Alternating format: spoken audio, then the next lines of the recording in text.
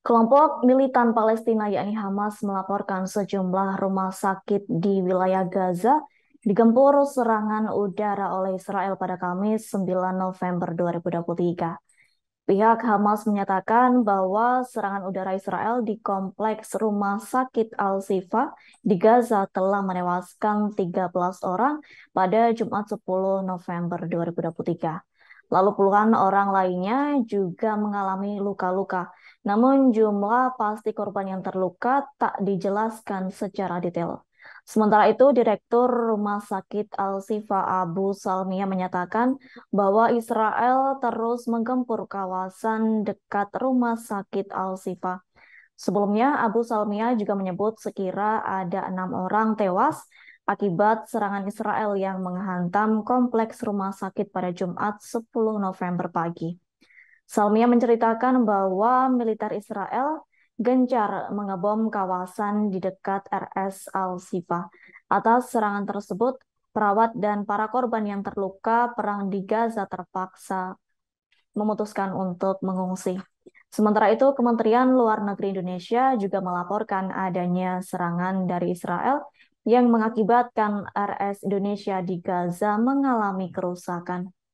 Adapun Direktur RS Indonesia yakni Atef Al-Kahluk menyatakan serangan Israel terpaksa memberhentikan pihak rumah sakit di Gaza untuk melakukan pelayanan medis. Menurutnya, rudal yang merusak rumah sakit Indonesia tersebut ialah peluru kendali. Di sisi lain, Direktur Human Rights Watch Israel dan Palestina Omar Sakir turut memberi tanggapan atas perang yang terjadi di Gaza.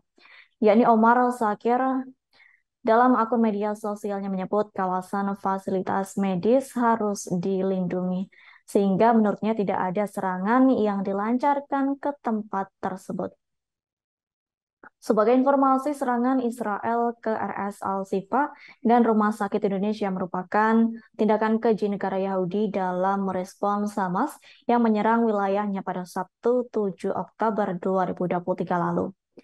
Merespon serangan tersebut, militer Israel sebelumnya juga melakukan penyerangan terhadap sebuah ambulans. Akibatnya, serangan itu mengakibatkan 15 orang tewas. Selain itu, pada Senin 6 November 2023, militer Israel menggempur panel surya untuk kebutuhan listrik dan medis di Gaza. Namun hal itu dibantah oleh pemerintah Israel. Bantahan militer Israel itu pun dibuktikan melalui rilis foto, ilustrasi peta, dan rekaman suara. Yakni juru bicara militer Israel, Daniel Hagari mengatakan bahwa pihak Israel justru menunjukkan bahwa Hamas yang menggunakan fasilitas tersebut untuk merencanakan operasi dan menyembunyikan para tentara.